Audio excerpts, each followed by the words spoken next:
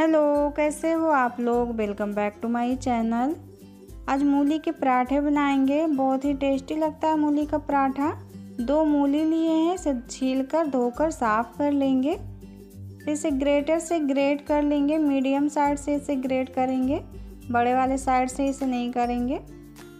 दोनों मूली को ग्रेट कर लेंगे। दोनों मूली को ग्रेट कर लिए हैं।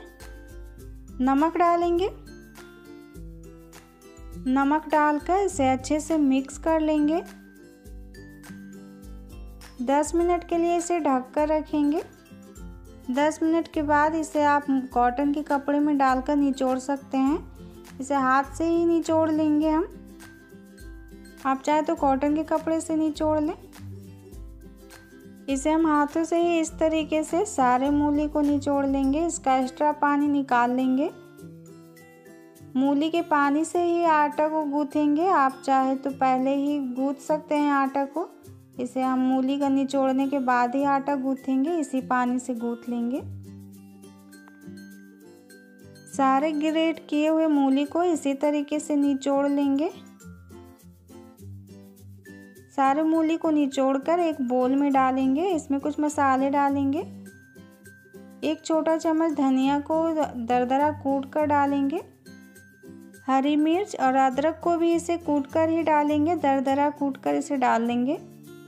आप चाहे तो बारीक बारीक काट कर डाल लें।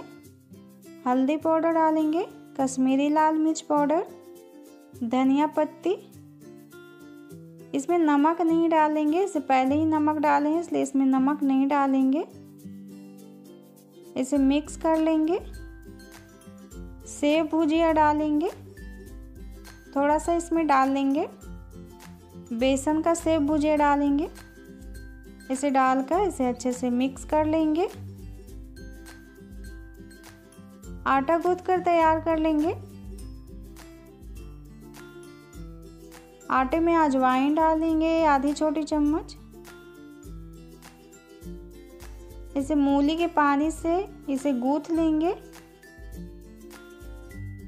एक कप मूली का पानी निकला है, इसमें थोड़ा थोड़ा पानी डालकर आटा गूँथ कर तैयार कर लेंगे। ज़्यादा हार्ड डो नहीं बनाएँगे इसका, सॉफ्ट ही लगाएँगे आटे को। एक्स्ट्रा पानी थोड़ा सा डालेंगे इसमें। पानी डालकर आटे को गूँथ कर तैयार कर लेंगे, इसे 10 मिनट के लिए ढक कर रखेंगे। 10 मिनट हो गया एक छोटी सी लोई लेंगे। लोई में सूखे आटे को लगाकर इसकी एक कटोरी बनाएँगे। स्टफिंग डालेंगे।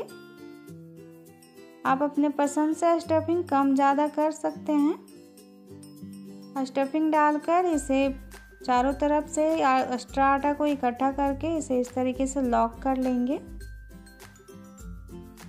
सूखा आटा लगाकर पहले हाथों से ही फैला लेंगे। हाथ से फैलाएँगे तो फटेगा नहीं इसे बेलने पे।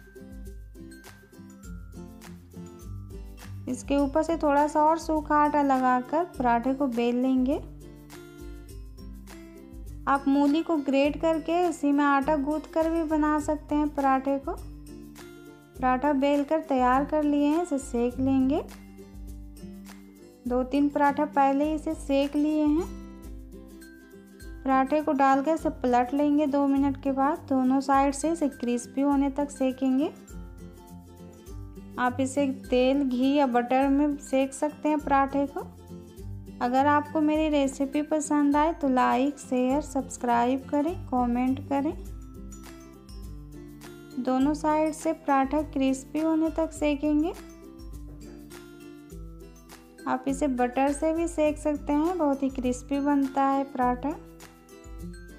दोनों साइड से पराठा क्रिस्पी हो गया है।